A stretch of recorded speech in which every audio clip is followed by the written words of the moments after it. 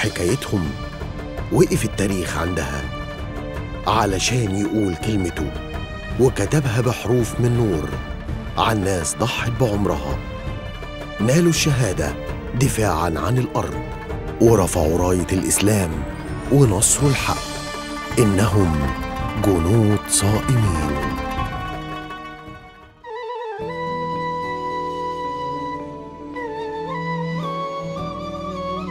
رمضان أحلى على النهار.